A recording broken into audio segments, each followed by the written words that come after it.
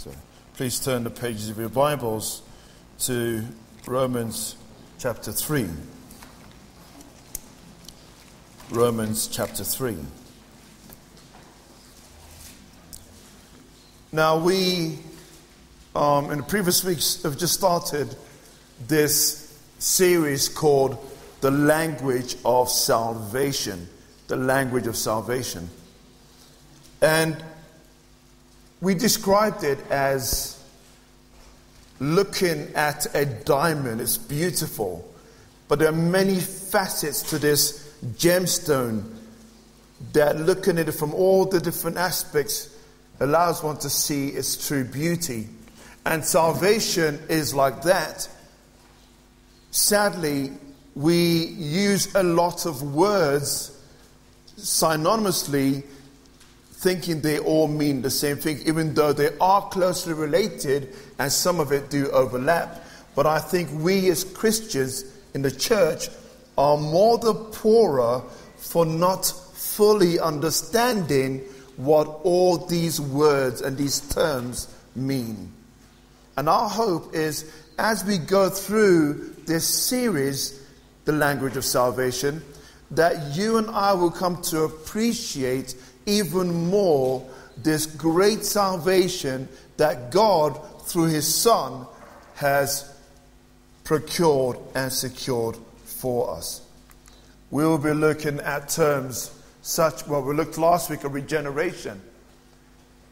And to see how this, these words are, are um, is languages employed from other areas of life that the Bible writers, that God is using to convey a particular aspect of this saving work. Last week we looked at regeneration, which we said is the language of biology, it's creation language.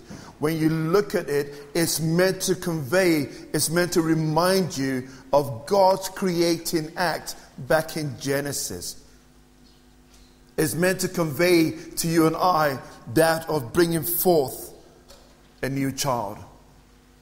And we said the regeneration doctrine addresses and deals with man's problem of his sinful nature. That you and I, by nature, the Bible tells us in Ephesians 2, verse 3, by nature we are children of wrath that's who we are. And how do we change that? We need to be born again. We need to be born from above. We need, we need new birth. That's why 2 Corinthians chapter 5 verse 17 says, Behold, if you are in Christ, you are what? A new creation. And all of this is meant to convey to us the imagery of, remember, we were made in God's image, but that image became marred because of sin. And we, Colossians tells us, are recreated in the image of Christ. Amen. So this morning we will be looking at the language of the courtroom justification, but we're going to be looking at adoption, redemption. I mean, what do we even mean by citizenship, union in Christ? All these terms, they're wonderful terms, but they're not all primarily religious words. That redemption, I can't wait to get to redemption. It's an amazing term. It wasn't originally a, a religious word, but it's a, it's a word that's used from the marketplace. So this morning, we will be concentrating on justification. You've heard this term many times, but I want us to look a bit deeper this morning. And I'm hoping not only will you say it's a nice sermon or, hmm, that's, that's interesting, but the, the hope and the, the purpose of this series is that you and I will walk out of here understanding better than we did before of all that Christ has done for us. We don't need to go chasing some prophet or some other teaching or sensationalism.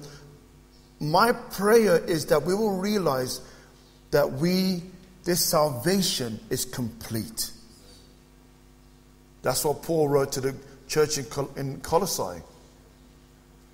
people were trying to destabilize their faith, telling them that they still needed something more.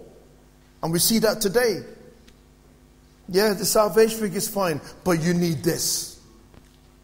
And Paul writes to the church in Colossae and says, We have an amazing Savior who's given us an amazing salvation. It's complete, it's finished, it's clear. You need nothing else. But do you believe that? And if you say yes, then I need to ask you the next question Are you living as if this is the truth?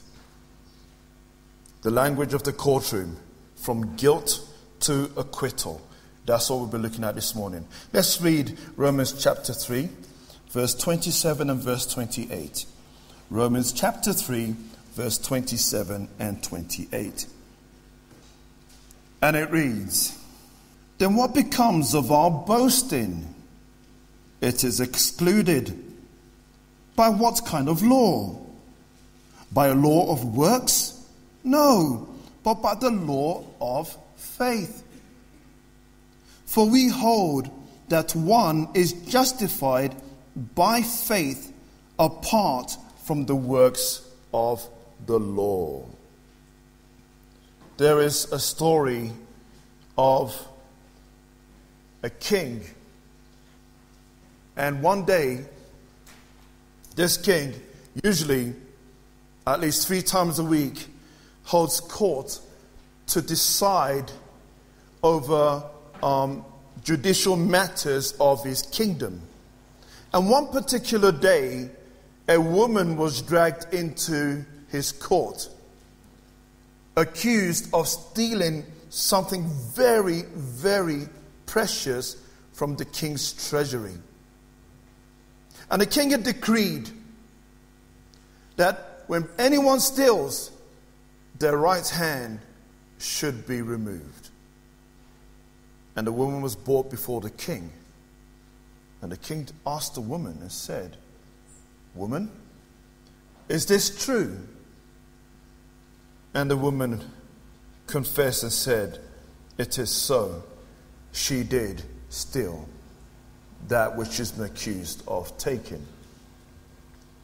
And the king looked at the woman and said, But mother, why? Now the king had the following options either to execute the punishment decreed by his own hand or the law of the land that anyone found stealing should have their right hand removed. That was his first option, that his mother's hand be removed. Or he could let his mother, because it's his mother, go free. But you see, he would have a problem, wouldn't he? And the problem is this if he let her off because she's his mother, he would be considered a corrupt king. He would be considered an unjust king. He would be considered to be partial in his judgment. And this would bring questions on his integrity as a king. And ultimately demonstrate to the subjects in his kingdom that his decree is not worth anything. Those are the two main options before him chop off his, his mother's right hand or let her go free. But he chose a third option. He stood up from his throne, he took off his cloak, and he walked down to the chopping block and he put his own hand on the block and told him to remove his right hand. People are usually offended by the Christians or what they see as Christianity's preoccupation with sin. All you people talk about sin, sin, sin, sin, sin. The Christian's conviction that we are all sinners in need of forgiveness and, in, and thus because of that, deserving of punishment, of judgment, offends many non believers. The gospel we preach, by its very nature, condemns all men as sinners. Church, when we verbalize God's saving work in our lives, what we, we say things like, Jesus died for my sins, don't we? Or we say, Jesus saved me from my sin. And there's nothing wrong with these terms, it's right. But the world has a problem with it because we condemn them rightly as sinners. Sadly, sadly, many churches believe preaching about sin is bad for business. So, you know what they do to avoid preaching about it altogether? Preaching about sin and God's judgment is seen as turning people away. You need to attract people. You need to focus on this, focus on that. More lights, more music. Just love them as they are. But don't speak about sin. You see, there is no gospel apart from addressing sin. Church, it is impossible to share the gospel and not address the matter of sin. If you preach a gospel without addressing the matter of sin, you're preaching gospel zero or gospel light. So this morning, God willing, we will first of all consider the biblical language of justification. What does it mean? You've heard it. You kind of know what it is, and I'm sure you could probably describe it, but I, I fear there's many facets to this doctrine of justification that we miss out on. Also, we will consider how we should understand this in the context of Christian salvation. This is very important. And thirdly, hopefully, and this is very important, church, how does a holy God, listen very carefully, how does a holy and just God allow sinners to be justified without paying for their sins? Have you ever sat down to think about that? How? How? How? Well, let's first consider what this word justification means. What does it mean? Now, when we say someone is just or to be just, what we're saying is that person is morally right. Oh, William is a just man. We're saying he's a morally right man. Aren't you, William? When we say someone's just, we're speaking about that person's um, good standing morally. God is described in Scripture as just. Turn your Bibles to Hebrews chapter 6, verse 10, please. Hebrews chapter 6, verse 10 reads, For God is not unjust so as to overlook your work and the love that you have shown for his name in serving the saints as you still do.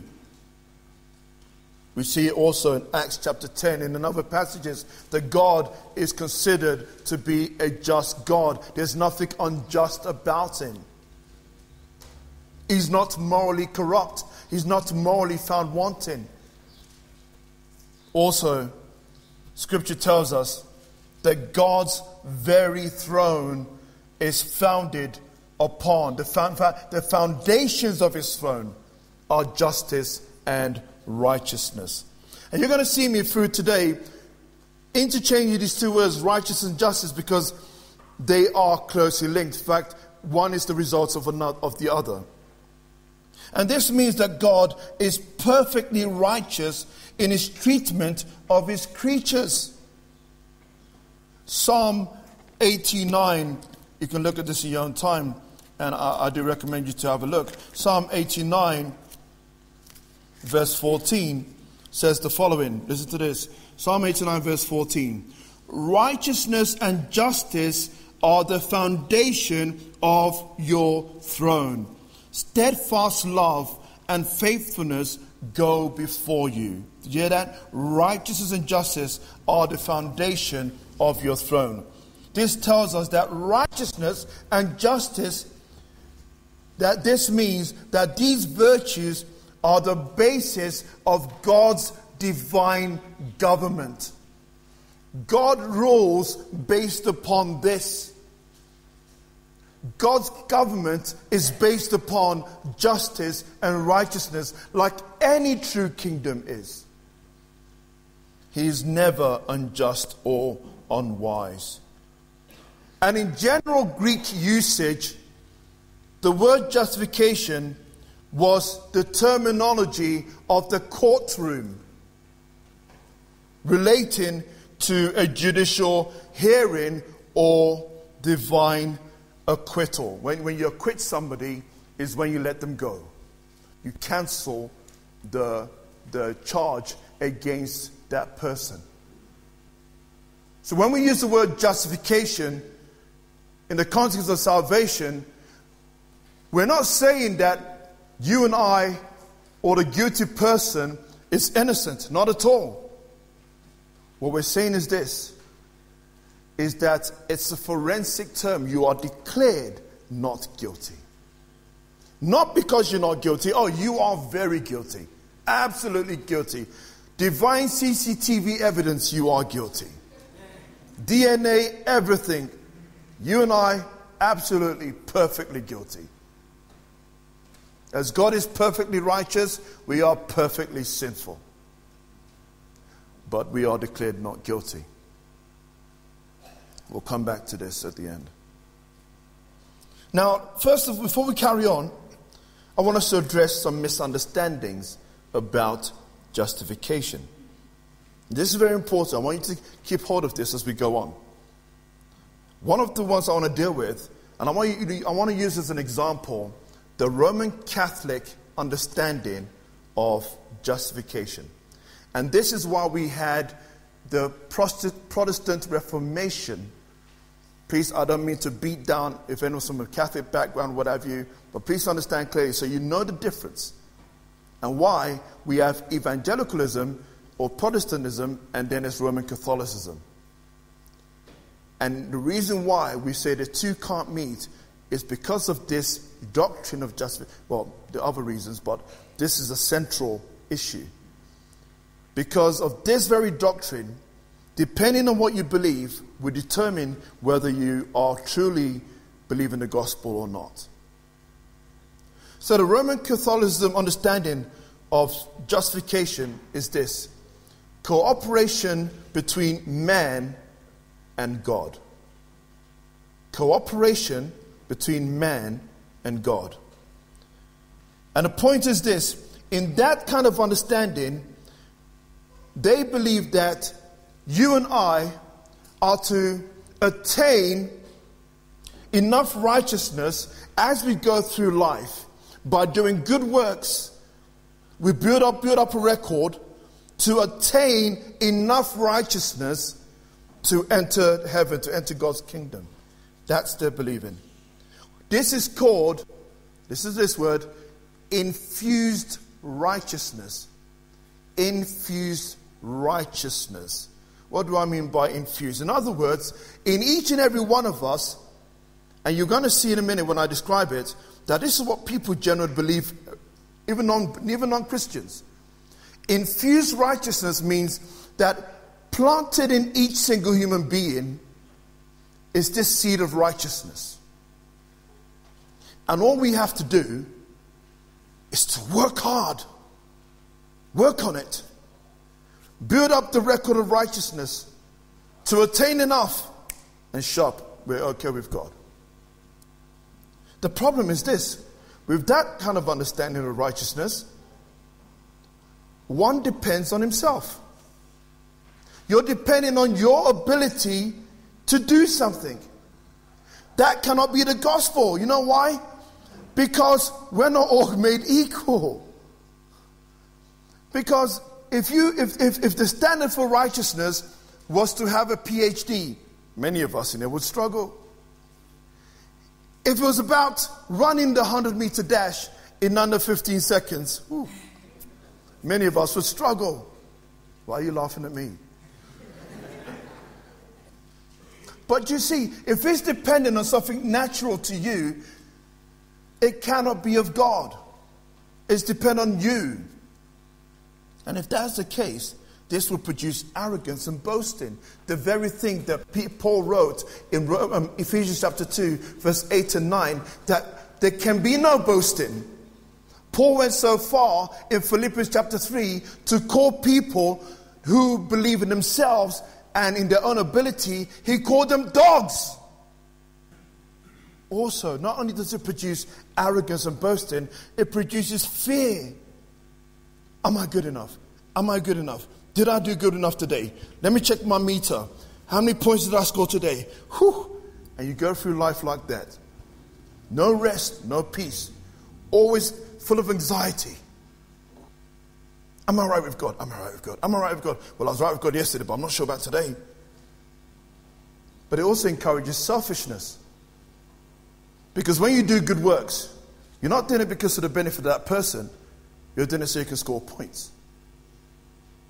You don't care about God's glory, you don't really care about that other person. You're doing it actually for yourself. Do you see the problem? But the big problem is this the big problem is this to be really righteous before God, you've got to be perfect. Perfect. That, that's the main problem. We can't be perfect. You know why? We saw it last week. By our very nature, we fail. David said, In sin did my mother conceive me. Romans chapter 3, we saw last week. All of sin have fallen short of God's glory. In other words, we've fallen short of God's standard. We can never meet it, we can never attain it. It's impossible. We see it with Mormons. I told you last week. Mormons believe if this is the standard for the righteousness God wants, you and I are to try hard, really try hard, and see how far we can get. And whatever's left, Jesus makes up the rest. That's not biblical righteousness. That's not biblical justice. And other religions are the same. Try hard, work hard, depend on yourself. That's why you see some people, they go and sit half naked on a mountain somewhere in a lotus position or sit on top of a pole or they fast and fast and fast and all of these things because they believe they can somehow appease God by their own efforts. All of these is what we call infused righteousness. You believe there's something inherently good in you, you just need to try harder, and then you get there. This is not biblical. This is not true. What the Bible presents to us is what we call, listen to very carefully to this word, imputed righteousness. So we've got infused righteousness, uh-uh, wrong. But the biblical term is imputed righteousness. Imputed righteousness. Never forget that word, people. And impute, to impute, is a business language. Like a bank. Like in a bank. You transfer from this account to that account. You impute from this account to that account. You transfer money. I hope, I always hope, one day I'll wake up and somebody's imputed 100 million rand into my account. Hey, pray yours, I'll pray mine. I'm joking, I'm not chasing money. But that's the idea. Is meant to convey a bank transaction from one account to the other. It's also known as what we call alien righteousness. It's something that's outside of you. The word alien is not just the stuff you see on TV. Alien means something from another place. Martin Luther was the one that coined the term alien righteousness. It's not righteousness from us, it's righteousness from outside of us. And Paul speaks of this when using Abraham as an example when he was referring, remember Genesis chapter 15, verse 6, When God said to Abraham, Look up, and he looked up in the sky and he believed, he said, and what does the Bible say? It was counted to him as what? Righteousness. It was imputed to him as righteousness. And Paul rightly knows that it was Abraham's faith that caused him to be justified before God, not the keeping of the law or performing good works. Turn your Bibles to Romans chapter 4 quickly, please. Romans 4. There's going to be a lot of turning back and forth. Like I said, in this series, we're bringing together many parts from Scripture to understand these doctrines.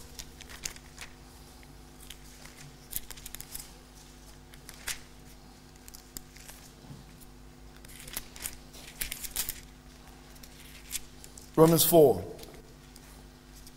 First of all, look at verse 3. Romans 4, verse 3.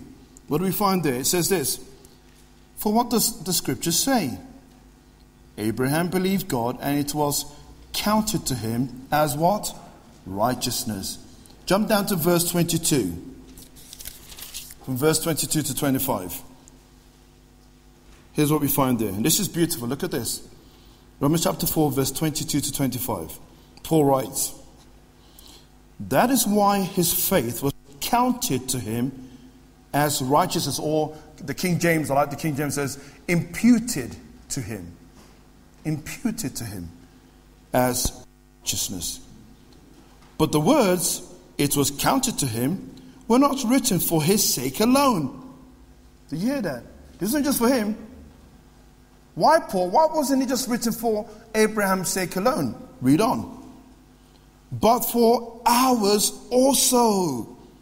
It will be counted to us who believe in him who raised him from the de- raised from the dead Jesus our Lord who was delivered up for our trespasses and raised for our justification. Paul expands this application to all of us. God imputes counts righteousness to Christians who do not possess any righteousness themselves just like Abraham. That's why those who are children of Abraham are not those who are born Jewish line, but those, what does the Bible present? Those who are like believing Abraham. Who believe like Abraham. They are counted the children of Abraham. This is the right understanding of justification. But it raises an important question or questions. If this is the case, is God unfair? Is God unfair? Why do I, why do I ask this? You see, some people ask, how can God send people to hell when they've never heard about Jesus? Because this is all well and good, Joshua, this justification, preaching the gospel, but how can God send anyone to hell if they've never heard this gospel? if they don't know about Jesus? And they ask this because they, right, they rightly understand if faith in Jesus is necessary, what about people who have never heard the gospel? And here's the thing I'm going to shock you. The Bible never explicitly addresses this. The Bible never explicitly addresses this. Do you want to know why? While the Bible doesn't explicitly address this, but but the Bible addresses a greater problem. What that is is this. Here's what the Bible addresses. How can a holy and just God allow a sinner to enter his kingdom? That's the right question you should be asking. How can this God allow anyone, anyone, to enter his kingdom? Because we cannot meet his standard. So, how can he even allow anyone, you, me, how does he do this? You see, we're very good at asking the other question but we don't ask the question that the Bible's really asking. The question that's making them go crazy. People like Paul saying, We can't believe it. Listen, my brothers and sisters, where the Bible is going, wow, you need to be going, wow. Because that's what the New Testament and the rest of Scripture again and again is going, we can't believe, we can't, this is amazing. Why would God do this? Why would this holy and just God justify sinners that are guilty? Let's first define injustice. Injustice, what we mean by that is this a corrupt or incompetent judge The sends innocent people to prison. That's how we usually understand a corrupt judge. Someone who sends the innocent people to prison. Equally, an unjust and incompetent judge lets the guilty person go free, right? You don't seem convinced. I'm worried. A good judge, or sorry, an unjust God, um, judge that lets the guilty go free is corrupt. And we're all happy if we're the guilty one to be let free, right? We're all happy with that. We don't question it, do we? If we're happy, it raises the question is God corrupt? Is he unjust? So today, here's what we do we put God in court and accuse him of being unfair and corrupt by the questions we ask. Now, it's good to ask these questions if we're learning and it leads us to a better understanding. But what most of us do, and the world does, is to pontificate. In other words, to stand morally over God. Well, if I was God, I wouldn't allow this. Well, if I was God, I would do this. Well, if I was God, I would. Well, you're not God. That's your problem, and thank God is, is not our problem. C.S. Lewis put it brilliantly. Look at this quote by C.S. Lewis. The ancient man approached God, even the gods, as the accused approaches his judge. Because he understands I'm guilty, so let me tentatively approach this judge, because I know I'm guilty. And he continues For the modern man, the roles are reversed. He is the judge, God is in the dock. The ancients understood rightly we're messed up people. We've done something wrong. But today, we stand in judgment of God. Who is He to tell me what to do? Who is He? Who is He? How dare God do that? Why doesn't He do this? We stand in judgment of God. I want you to remember our previous message. Remember last week we touched on Romans chapter 3 that every part of our being our tongue, our feet, our actions, the way we see the world, everything is corrupted. Everything is corrupted. If I asked you to measure something with a crooked measuring tool, it would be impossible, wouldn't it? But that's you and I standing in judgment of God. We're crooked, we're bent, we're corrupt. And yet somehow we think we can pontificate over God. See, church, we need to ask the right question is how can a holy God let sinners go free? Look at Romans chapter 3, verse 25, verse 26. Romans chapter 3, verse 25b. It reads, actually, read verse 25. Whom God put forward as a propitiation, that's Jesus Christ, by his blood to be received by faith. This was to show God's righteousness because in his divine forbearance he had passed over former sins. It was to show his righteousness at the present time so that he might be just and the justifier of the one who has faith in Jesus. Now, I actually prefer, and actually look, stay there actually. Look at verse 5 of chapter 4. Romans chapter 4, stay in Romans there. Look at verse 5. It says this And to the one who does not work, but believes in him who justifies the ungodly, his faith is imputed or counted as righteousness. I like the way the NIV put it. Who justifies the wicked? Who justifies the wicked? Church, this is the only option. Listen very carefully. Either God condemns the wicked or he acquits him. Either he condemns us or he lets us go. Those are the options, according to this.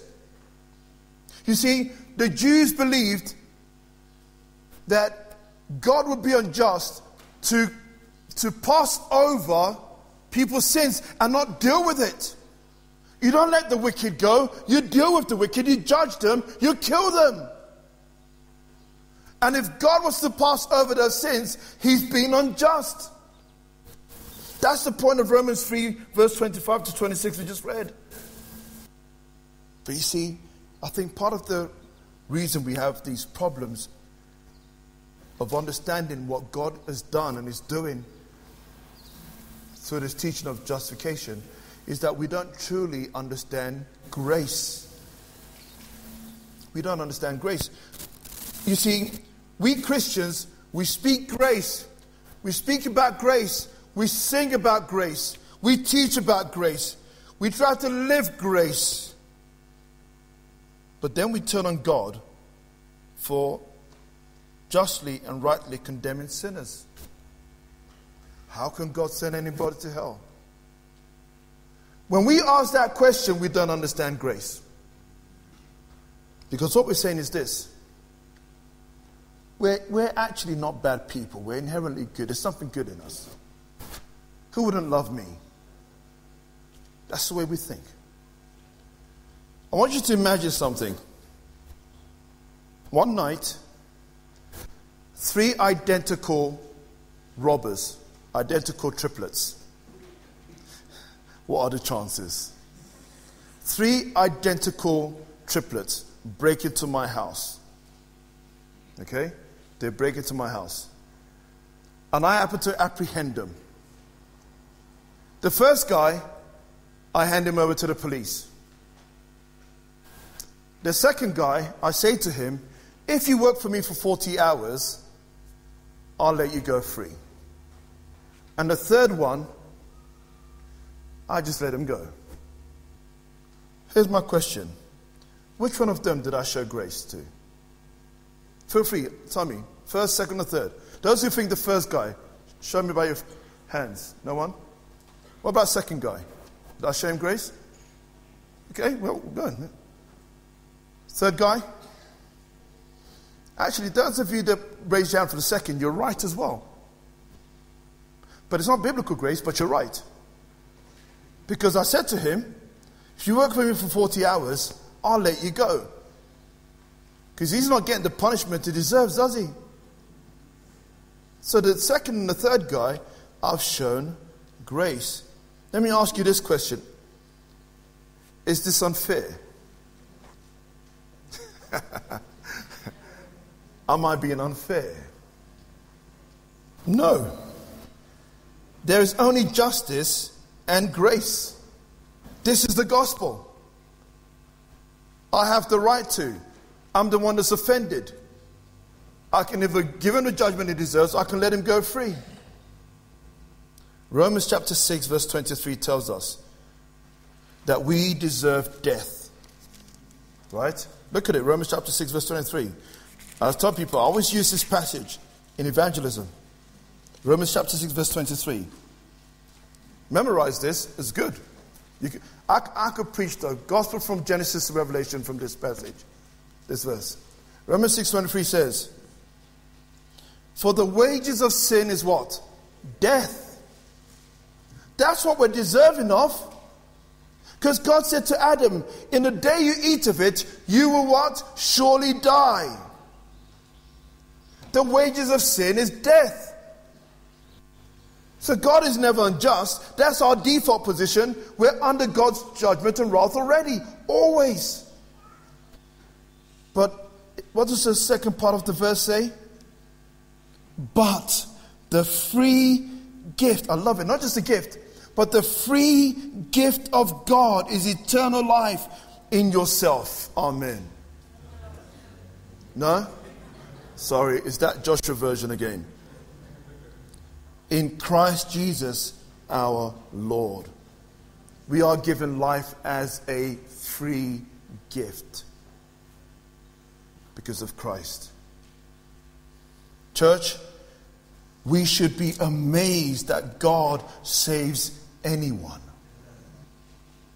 Not only are we undeserving of God's salvation, church, listen to this. Not only are we undeserving of God's salvation, we are equally undeserving to hear the gospel message.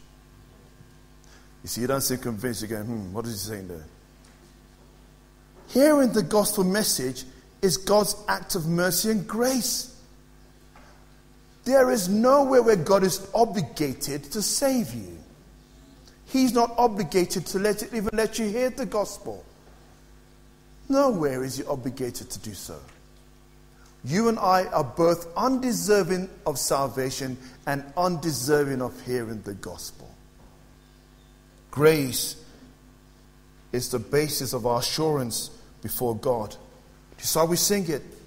It's not dependent upon my performance. The God who saved you today knew exactly what you're going to do tomorrow, next week, next month, next year, next decade. He knew he knows everything perfect. This is why Psalm 139 is amazing. God, amazing God, who knows all things, knows your heart, still has chosen to set his affections upon you. And we, we struggle with this, balancing justice and grace. You see, the triplets that broke into my house, my judgment wasn't based upon how they looked because they all looked the same. By the way, if you break into my house, I will not show you grace. Just in case anyone listen to this or anyone here who's got designs, I've, I've warned you, I will not show you grace. But it's not based upon how they look or anything. is based upon what? My choice. Not anything about them, but my choice. Very important. But I wanted to, to go back to the opening story. Let's go back to the opening story. You see, the king had two options if he wanted to maintain the justice of his throne. Either punish his mother according to the decree of the, of the law, of his own law, or make someone else pay for it. And if he made somebody else pay for it, it's, that's being unjust. The that sins will what? Will die. You pay for your own sins, thank you. But like we said, there's a third option. He paid the penalty himself. And thus, he displayed both grace by acquitting his mother and justice. The penalty of the law was met when he had his own hand cut off. And this way, no one could accuse the king of being corrupt. No one could question his integrity because he cut off his own hand. Similarly, God cannot overlook sins. He cannot overlook our sins. And if God had punished someone else, he would still be considered unjust. But God had a third option for you and me. God Himself pays the penalty. This is true grace. He paid the penalty Himself. But what about the law and good works, you may ask? If you're asking that, you should be asking that. What about the law and good works? Don't they matter? You see, here's our misunderstanding, church. For those of us who are familiar with, with, with, with the whole of Scripture. You see, we usually think that the guys in the Old Testament were made righteous by obeying the law. Yeah, they had to obey the law, but they weren't made righteous by their obedience of the law. No, it's always been by grace through faith. Always. Abraham was justified by faith. So was the other so were the other Old Testament saints. They were all justified by faith. This is why Paul speaks of the curse of the law in, in Galatians chapter 3, verse 10 to 13.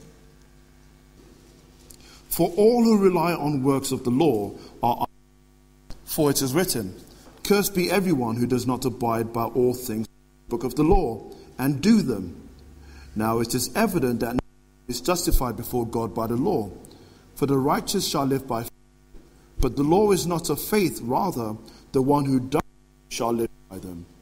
Christ redeemed us from the curse of the law, coming a curse for us, for it is written, Who is hanged on a tree. Yes, Paul is making is this. The way to be made perfect or righteous law is to do what? To obey it perfectly. Broke any part of the law, you are what? A lawbreaker. Again, back to our Ferrari. So imagine you're driving to Johannesburg in your Ferrari. And we know the speed limit is what? 120, right? 120. But you're driving a Ferrari, for goodness sakes. Who does 120 in a Ferrari? Amen. so you're doing 220, right? Or 280 or something. And you're driving it, you're licking it down to Joburg. Instead of two and a half hours, you're doing it in an hour.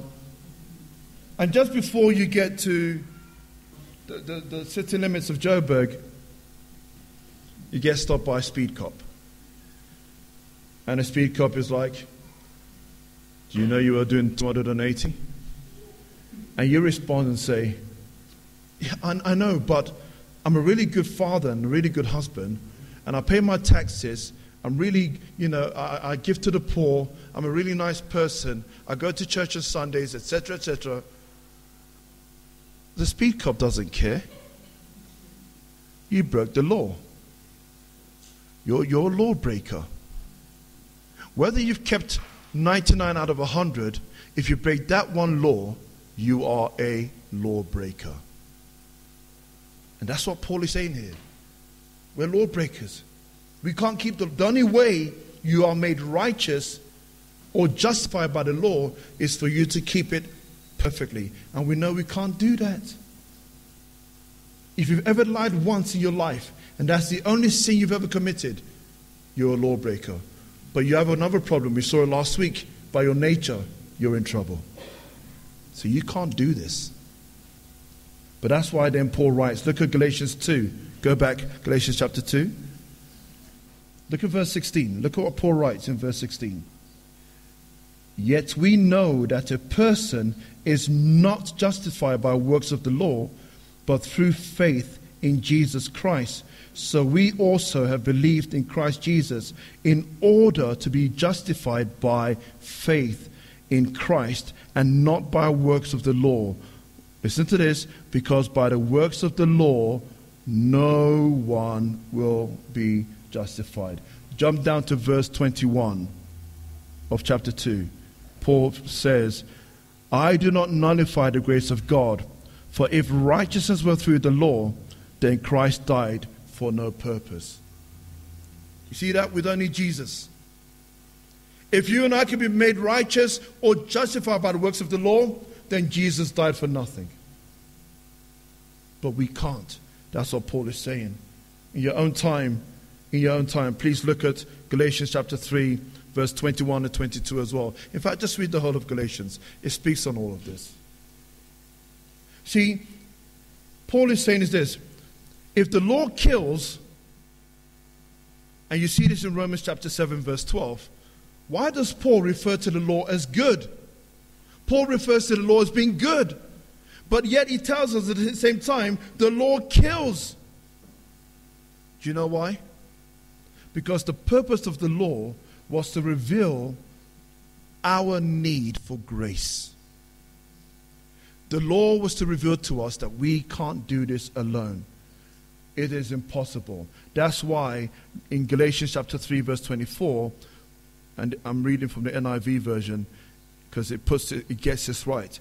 Paul says, So the law was put in charge to lead us to Christ that we might be justified by faith. So the law was put in charge to lead us to Christ that we might be justified by faith. All the law does is to show you and I we are incapable of keeping God's law. We need grace.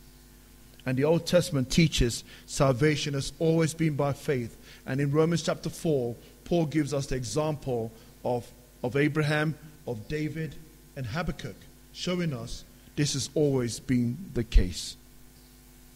But let me bring all this to a close for us. There's a legal tra- transaction that happened through Jesus Christ. You see, here's the problem. You and I could never meet and can never meet the requirements of the law. Okay?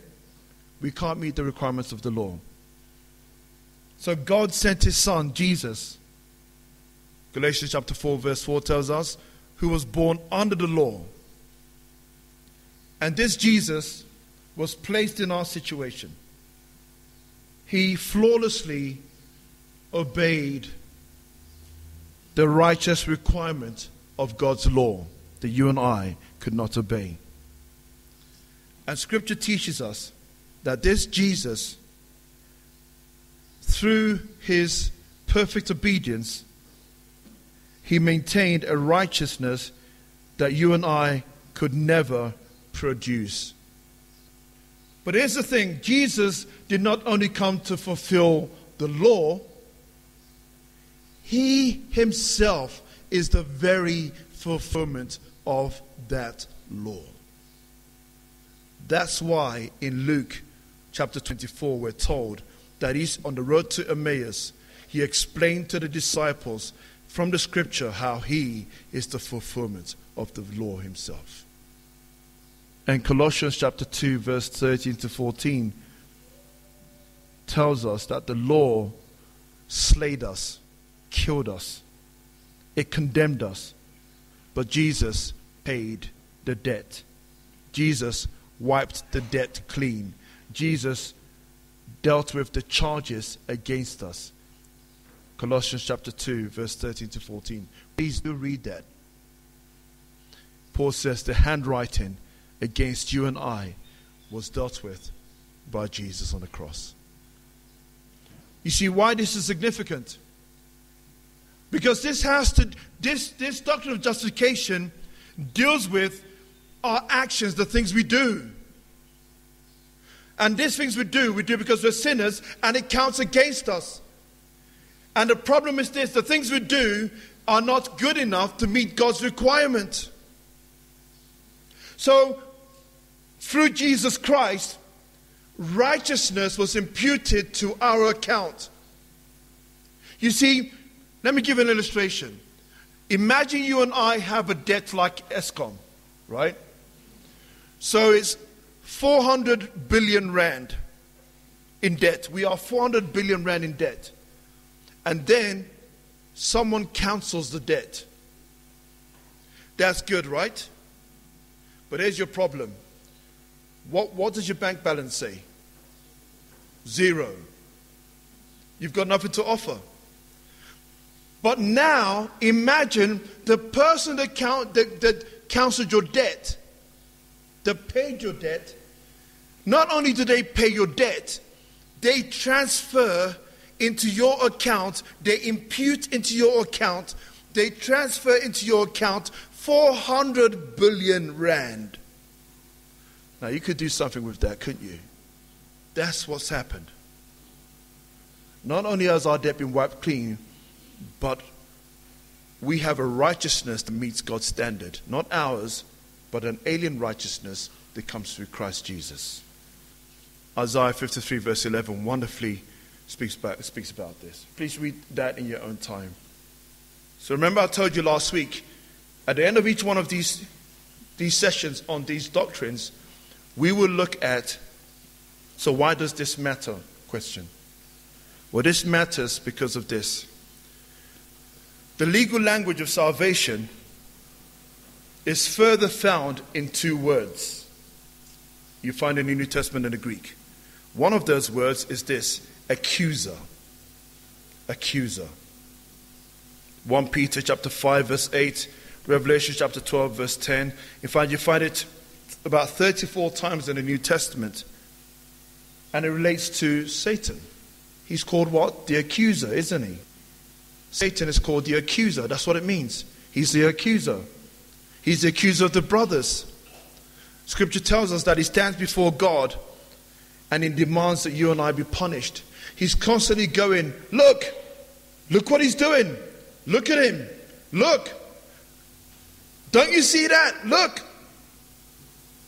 That's all he does. He's the accuser. But we have another word. It's the word intercessor. Intercessor. We saw that when we read Hebrews earlier today. Please go back to that passage, Hebrews chapter 7. And we sung it in our first song. What does the word intercessor mean? It means this. Listen very carefully, church. Don't ever forget this. So when Satan accuses us, Jesus intercedes for us. You know what? Hebrews 7, verse 23 to 25. I'll read in. The former priests were many in number because they were prevented by death from continuing in office. But he holds his priesthood permanently because he continues forever. Consequently, he is able to save to the uttermost those who draw near to God through him, since he always lives to make intercession for them. He lives. He lives to make intercession for you and I. I don't think we fully appreciate this. This is an amazing promise. See, when Satan accuses sinners day and night, day and night, that's what we're told in Revelations. Day and night, he accuses us before God. Jesus is interceding for them. Jesus intercedes for us. Hallelujah. This is why Paul writes what he does in Romans chapter 8, verse 34. Paul says this in Romans chapter 8, verse 34. Paul says, Who is to condemn? Christ Jesus is the one who died. More than that, he was raised who is at the right hand of God, who indeed is interceding for us. I want you to imagine a court scene, church. Back to the court. You and I, believers, are the defendants. Okay? We are the defendants. God the Father is seated as the judge. Jesus Christ is the defense attorney. And Satan is the chief prosecutor. Church, with every accusation, Jesus steps in and intervenes. Church, listen very carefully. Jesus is not stating on our behalf that we are innocent. Not at all. He intercedes by taking upon himself the punishment we deserve. That's what it means for Jesus to intercede for us. But you know what? In what other way did Jesus intercede for us? Not just in Satan accusing us. Do you know the other problem is this? God is a holy judge, and he must judge sin. He intercedes for us when God's judgment comes he stood on the cross and he said, Eli, Eli, lama sabachthani, my God, my God, why have you forsaken me? But because he experienced that, today you and I can say, My God, my God, why have you not forsaken me? The abandonment he experienced, you and I will never have to experience it because Jesus took the punishment, the wrath of God upon all unforgiven sins on the cross. In that way, he intercedes for us continuously. Good works are a product of saving faith, not a requirement of it. Ephesians chapter 2, verse 8 to 10. Read that in your own time. This is why the Apostle Paul, again in Romans chapter 1, said, There is therefore now no condemnation. So when you and I die, when we stand before God, we will not have to give an answer for anything. You know why? Because Jesus has interceded and has answered every question on our behalf. But more than that, he's taken the punishment that you deserve on himself. Keep this in mind. Remember this? Regeneration. Our hearts were bad. We needed what? A new heart. Our nature condemned us. We looked at this last week. That's our problem. But regeneration addresses the power of sin in our lives. There's nothing we can do about it. It's a declaration of the Creator in Him giving you new life. But justification deals with this. Our record is bad. Our criminal record is terrible. There's nothing we can do to expunge that record. It stands against us. Back to Colossians chapter 2. But Jesus wiped that record clean. So our actions condemned us. What we do is never good enough. And justification addresses the penalty of sin. We deserve death. We deserve punishment. We deserve hell. But praise God, because Jesus intercedes for us, we never have to serve a day in hell. And this is an act of a gracious judge. That's justification. Regeneration, justification. Do you see already how much God has done for us? New nature, new creation, perfect righteousness. Praise God. So, I'm hoping you and I, I want you to understand that your good works do not save you. They should be the product of this saving work, completed work of Christ. We do good works not to score points, but as an act of love and worship to God. Good works do not save us. So when you leave this place today, you go out there, understand this. You live this life of holiness because of that which Christ has done for you. It's a life that says, Thank you, God, for this great salvation. You will never be good enough on your own, but trust in the finished work of Christ. In that, you stand justified. Don't worry tomorrow. You fail tomorrow. Don't worry if you fail next week. Don't worry if you fail next month. Don't worry. You stand justified before your Creator. Because the only one who can judge you has said, not guilty. Amen. Let's pray. Father God, we thank you for your word this morning. Thank you for this great truth of justification. Thank you, Father God, that you have done something for us that we could never do ourselves.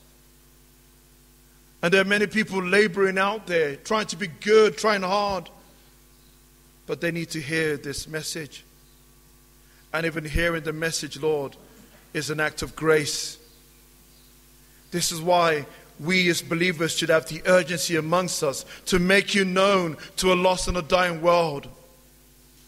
So, Lord, help us have an urgency about making you known. And that, Lord, as we do these good works, to understand that it's not earning any points or credits with you, but it's an act of love, an act of obedience, an act, an act of appreciation for what you have done for us. We ask all this in Jesus' name. Amen.